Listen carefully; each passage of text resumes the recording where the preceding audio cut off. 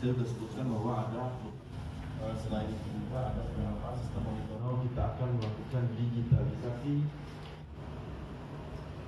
tapi memang jabat pemeriksaan keselamatan kapal bandar dari inspektor audit kebetulan di sini juga ada oh, kita akan melakukan digitalisasi karena itu karena itu apa menggunakan jasa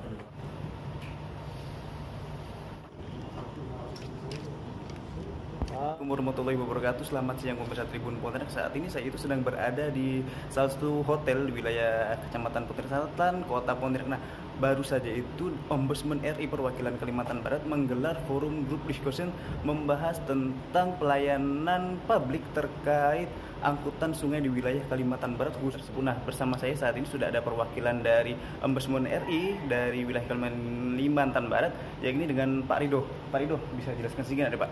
Tadi agenda kita pada hari ini seperti apa sih Pak? Jadi kami sedang melakukan FGD hari Mhm. ini dalam rangka eh, menindaklanjuti kajian dari Ombudsman yaitu pelayanan publik angkutan sungai di Kota Pontianak, Kubu Raya dan Kayun Utara.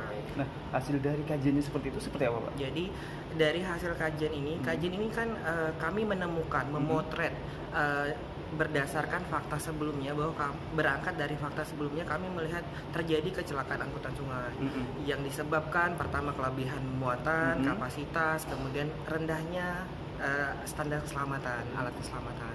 Jadi kami lakukan potret ke beberapa wilayah, tiga wilayah tersebut, dan kami menemukan bahwa memang kenyataannya demikian.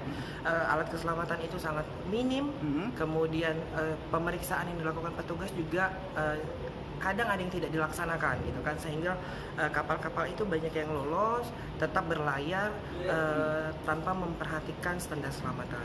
Nah, terkait ini kan kita sudah mengundang banyak ya instansi terkait eh, untuk em, ke depannya mengambil langkah eh, terkait kebijakan pelayanan publik angkutan sungai ini sendiri. Apa yang diharapkan dari ombudsman sendiri bang terkait nanti hasil dari FGD ini sendiri? Jadi solusinya untuk Hmm. sementara waktu pemerintah eh, Kementerian Perhubungan di bawah Direktur Perhubungan Darat itu sedang menyiapkan regulasi karena dulu angkutan sungai itu dianaktirikan Mm-mm.